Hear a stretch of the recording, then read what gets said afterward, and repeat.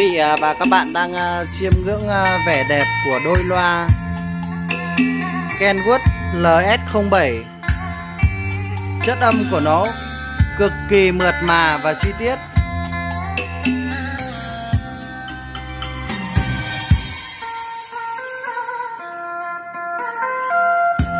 Đôi loa này vừa về tại cửa hàng Nguyên Audio thị xã Phú Thọ. Một đôi loa cây rất đẹp, đẹp xuất sắc luôn.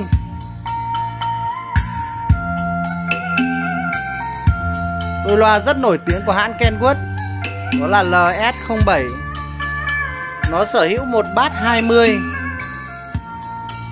Một bát 20 màng carbon, Gân vải tẩm dầu.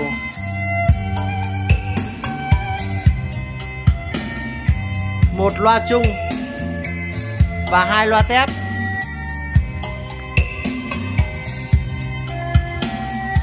Hai loa chép này thì cho ra tiếng của nó rất là sáng luôn.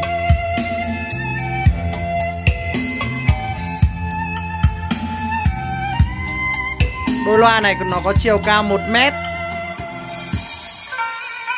Nó có chiều cao 1 mét, rộng 30 sâu 30 trở kháng của nó là 8 của nó là 6 ôm. Trở kháng của nó là 6 ôm, công suất là 150W một thùng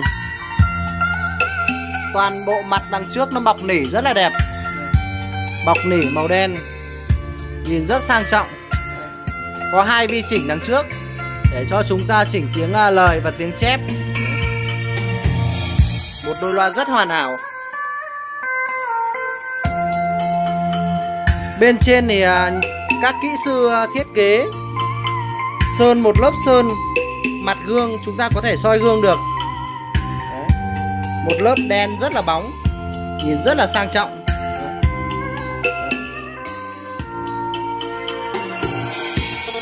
Trông rất sang trọng luôn.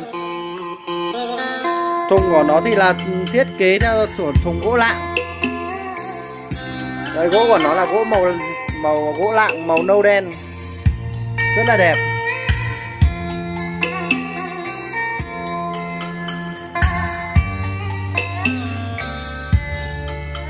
Đôi loa này thì rất là nặng.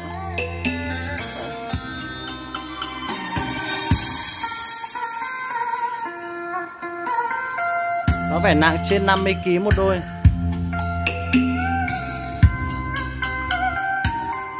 Quý vị à, nghe thấy tiếng bát của nó đánh rất là uy lực. Thùng của nó làm rất là chắc chắn nên là tiếng bát của nó đánh rất là uy lực luôn.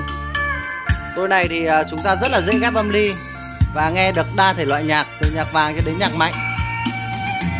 Dùng hát karaoke gia đình nhà chúng ta thì rất là hay luôn. Tôi loa cây nhìn rất sang trọng. Chúng ta để à, trưng bày gia đình, phòng khách nhà chúng ta thì rất là sang trọng và đẹp luôn.